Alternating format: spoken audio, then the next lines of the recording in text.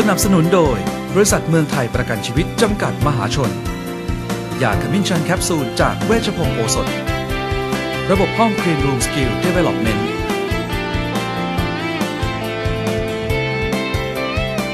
สวัสดีค่ะ สวัสดีครับ เรื่องเล่าข่าวดีครับ คุณฮันนี่ชลพันษากับพิษณุนะครับ มาพบกับท่านผู้ชมทุกวันเสาร์6นาฬิกา55นาทีถึง7นาฬิกา25นาทีครับ ค่ะ เช้าแบบนี้เนี่ยนะคะ เราก็มาพร้อมกับเรื่องราวดีๆนะคะ ที่คุณผู้ชมฟังแล้วจะเกิดประโยชน์ ไม่ว่าจะเป็นเรื่องราวของธุรกิจที่เน้นในเรื่องของความพอเพียง แต่ในขณะเดียวกันมีความสุขและประสบความสำเร็จ หรือเรื่องของอาหารการกินเรื่องกีฬาก็น่าสนใจครับ เราจะเริ่มต้นเรื่องของที่คุณฮันนี่บอกครับ เรื่องของเศรษฐกิจพอเพียง แล้วก็เป็น เป็นทำธุรกิจระดับโลกด้วยนะว่าไปแล้วเนี่ยมีใช่ค่ะ ลูกค้าตั้ง 30 ประเทศทั่วโลก ใช่ค่ะ เป็นเรื่องของ bathroom design นะคะ เชื่อว่าหลายท่านคงจะรู้จักกันดีนะคะ เพราะว่าเป็นแบรนด์คนไทยครับ สร้างชื่อเสียงโดยคนไทยนะคะ แล้วก็ปัจจุบันส่งออกไปกว่า 30 ประเทศทั่วโลก ธุรกิจนี้เนี่ยนะคะ เป็นธุรกิจที่ก่อตั้งด้วยเอ่อความมุ่งมั่นของสองเพื่อนนะคะครับคือเพื่อนสองคนเป็นเพื่อนกันมาตั้งแต่สมัยเด็กๆนะคะคุณวัชรมงคลและคุณเชตพลนะคะครับบัสบัสรูมก็เป็นสุขภัณฑ์อะพูดง่ายค่ะๆนะครับทุกอย่างเป็นเครื่องใช้ในห้องน้ำทั้งหมดเลย มีทั้งโถส้วมอย่างที่เห็นเมื่อสักครู่ครับอ่างอาบน้ำมีหลายแบบหลายลีลาค่ะก่อตั้งในปี 2538 นะคะ ตอนนั้น ยังสั่งเข้าอยู่เลย ใช่ พอปี 2540 ฟองสบู่แตกไงโอ้โห ก็เจค่าอหเงินนี้บาทสินจาก 25 บาทต่อดอลลาร์กลายเป็น 52 บาท 50 บาท โอ้โห เท่าตัว หน้ามืดเลยนะคะ ก็เลยเกิดการเอ่อคิดว่าเอ๊ะจะทำยังไงดีนะคะ ที่ช่วยลดหนี้สินแล้วก็ลดการนำเข้า จึงเป็นที่มานะคะ ปัจจุบันก็ประสบความสำเร็จค่ะ แล้วก็มีโรงงานถึง 2 แห่งที่ปทุมธานีครับนะคะ จากสั่งเข้ากลายเป็นส่งออกใช่แล้วนี่ครับ สุขภัณฑ์ที่ไม่ได้มาตรฐานไม่ผ่านการตรวจก็เอามาเป็นภาชนะในการปลูกผัก แล้วก็คนงานที่นี่พนักงานที่นี่ 70 คนเนี่ยนะครับพอถึงเวลาธรรมดานั้นเลิกงาน5โมงเย็นแต่4โมงครึ่งนี่หยุดทำงานแล้วก็ใช้เวลาครึ่งชั่วโมงมาปลูกผัก นั่นเป็นเพราะว่าเขามีแนวคิดในการทำงานที่ไม่เหมือนที่อื่นนะคะ เน้นความพอประมาณ มีเหตุผล แล้วก็มีภูมิคุ้มกัน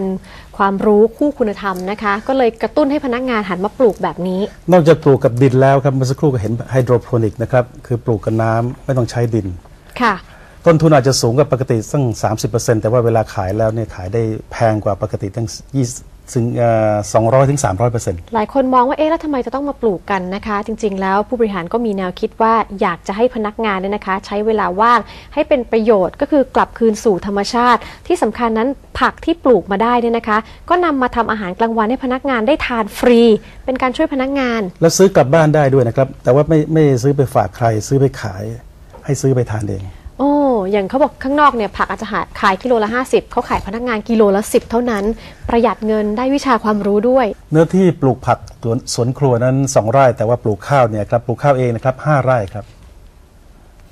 นอกจากทำธุรกิจแล้วก็ยังห่วงใยสังคมสภาพแวดล้อม ซึ่งเป็นเพื่อนบ้านของเราด้วยนะครับคือตัวเองก็เป็นเจ้าของธุรกิจเจ้าของโรงงาน แต่ก็ไม่ลืมเพื่อนบ้านที่ต้องมีสภาพแวดล้อมที่ดี นอกจากนี้ครับยังมี เรือนเพาะเห็ดนะครับ อืม